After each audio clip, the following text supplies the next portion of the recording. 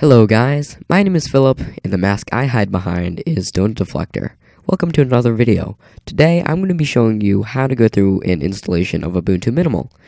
Ubuntu Minimal is basically a 40 megabyte ISO image that you can get from ubuntu.com, and it's going to grab all the software it needs from the internet while it's installing instead of just on the disk. It will also set you up with less unneeded software as well, or software that uh, you might not even need. So this is more for an intermediate to advanced user. Beginners, stay away from this until you feel like you want to tackle it. Learn a bit more about your system before attempting this. So in this tutorial, I'm going to assume you already know a bit uh, or about Linux. Let's say you're a beginner to intermediate user on the threshold um, and want to get uh, a bit more experience down with Ubuntu, but you want to do a minimal install this time you've come to the right place. I'm going to assume that you know how to put the ISO image on a flash drive or CD, whatever medium you're going to use. So let's get started. Right here, you're going to be presented with a few options after you boot via the medium. Install, command line install, advanced options, which has, of course, advanced options, and help. I'm going to be choosing install here, so just press enter. Gonna wait here.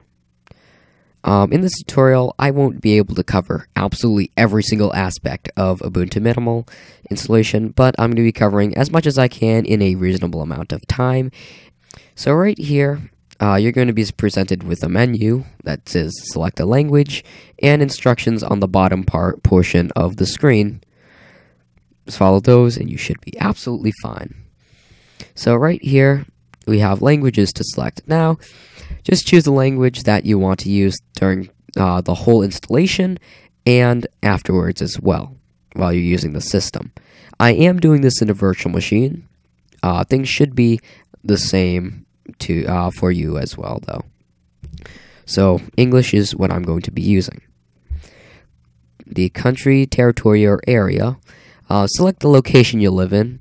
If um, a place you live in isn't in this um, list, then choose Other. And right here, just choose the region you live in, and then the country you live in. After that, it'll tell you to configure the keyboard. Now, you'll be able to either the uh, installer detect the keyboard you're using, or do it by yourself, which is what I usually do. So I select No. Now, you just have to choose the language of the keyboard you're using. Mine is English US and then the layout. Um, the default here is QWERTY, which is what I use. Um, there's also a few alternate layouts for you, Dvorak, Programmers Dvorak, Macintosh, blah, blah, blah.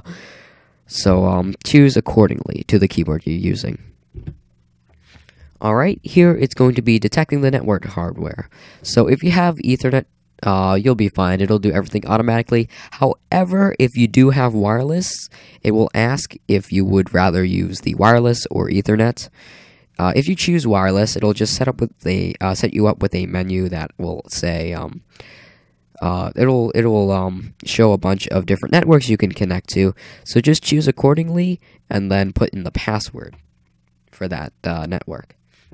Right here, we are presented with a host name to choose. Which one shall we choose? Uh, host name will be basically uh, what the computer will be known as on the network. I just you can name it anything you want.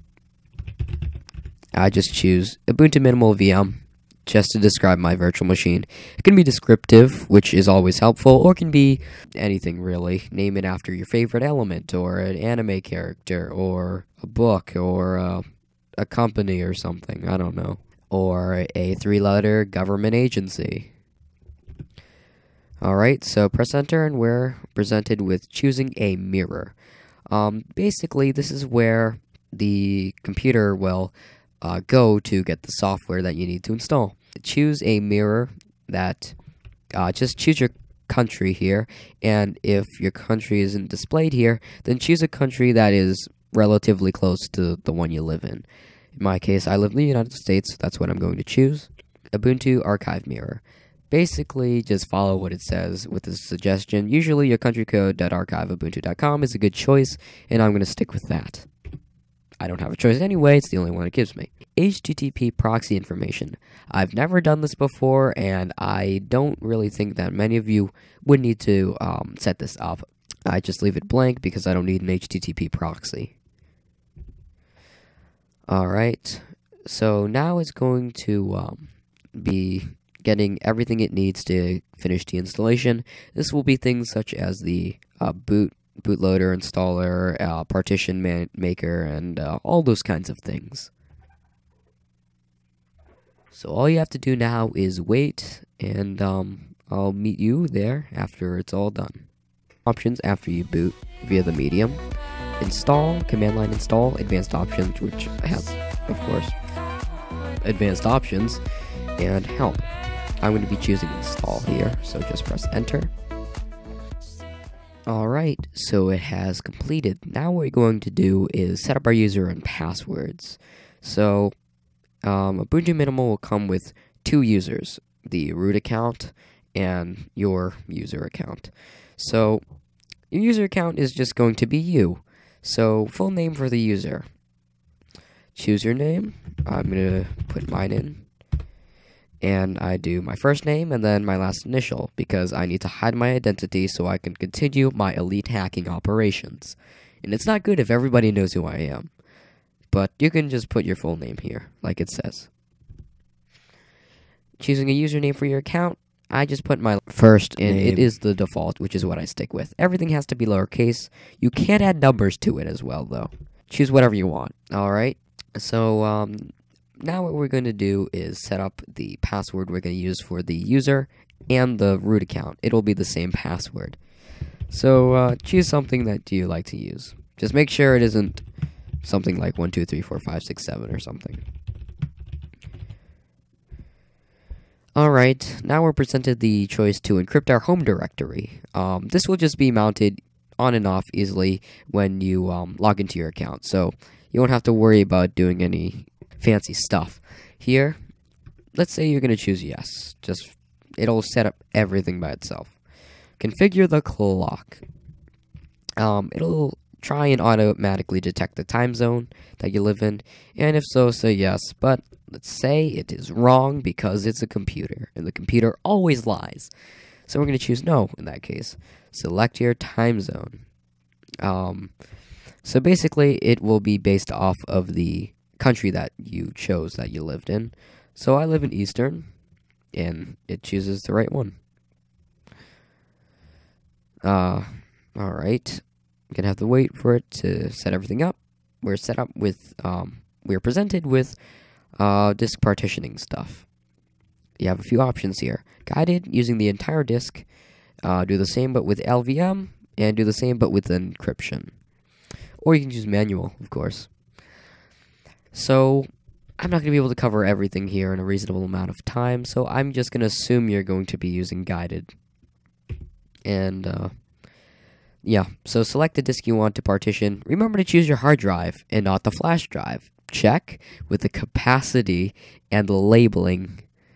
Make sure that it's the hard drive you're installing to, or the SSD, and not the flash drive, because that could be pretty bad. Alright, so Guided will automatically just set you up with a root partition that e- ext4 and a single swap partition. Alright, change this to disk. Just look at everything and see if everything's fine and choose yes. Alright, it's installing the base system. Now all you have to do is wait. Uh, check on it every once in a while. Make sure that it um, didn't totally mess itself up.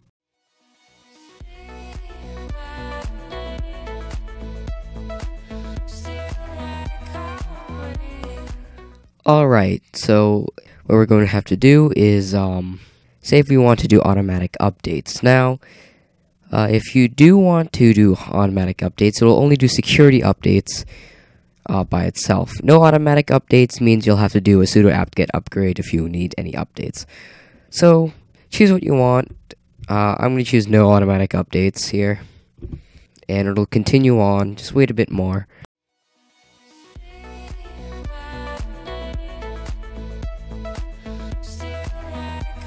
Alright, so here you're going to be presented with a whole big menu of things you might want to install um, with the installer instead of doing it after the installation. Uh, there's a whole lot of things you can choose from. uh, things like desktop environments, a whole bunch of desktop environments here, fonts, and um, server stuff. So, um, yes. So, I'm going to go through a few of the basics that you might want to do. Basic Ubuntu server. Well, that's basically what you're going to be set up uh, if you're using Ubuntu server. OpenSSH server is for uh, if you need to SSH into the machine, which could be useful. DNS server is um, if you're going to be um, DNS server is something you you will need if you're going to put the machine onto you, you're going to need to put this machine on the internet. LAMP server is um, LAMP server is basically for transferring files back and forth. Mail server, if you want to set up an email server. Postgres SQL database. Um, database stuff. So you need to keep logs or statistics and stuff for a TeamSpeak or whatever. Print server. If you ever need to use a printer to print stuff out, hey, Samba file server. Um, this is also to transfer files from machine to machine. Tomcat Java server. I'm not actually um, familiar with this one. Ubuntu Cloud Image. I'm not familiar with this one either. virtual machine host. If you want to run some virtual machines, is going to install a few modules. Um, 2D, 3D creation and editing suite, audio recording editing suite, and there's um desktop environments and a whole bunch of other stuff as well here. I'm not going to go through all of it, but this might set you up with things like GIMP and uh, uh, Blender and such. And this might set you up with Audacity and uh, Hydrogen and LMMS. And there's just a whole bunch of stuff you can uh, look through and see what you want. Fonts, always useful. Uh, publishing applications, I'm guessing things like LibreOffice, pho photography and stuff, things like Darktable, I'm guessing. But um, you can choose whatever you need. So I'm going to leave you to your own devices.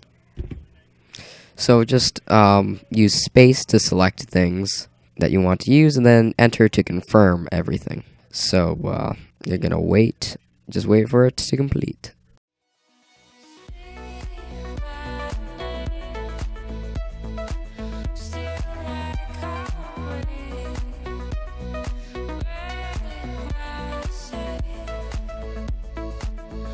Alright guys, so right here you can see it's asking to install the uh, bootloader, which will be Grub.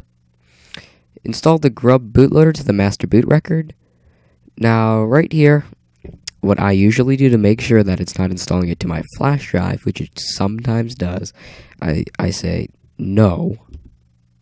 And then I manually enter the device. Now, you should have taken note of the device that you uh, what drive that you installed it in. On uh, my case, I it only showed up as one drive, so it would be dev SDA.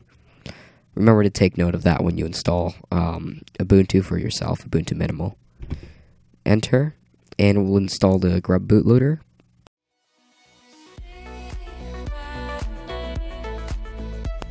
It's going to finish up the installation, configure, and um, install everything it needs.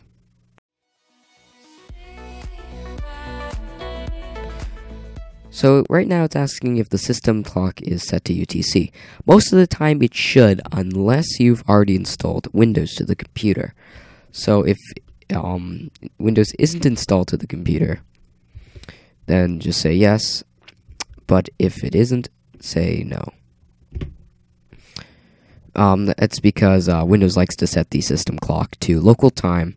Instead, Linux need um, would work better with um, the time set to UTC.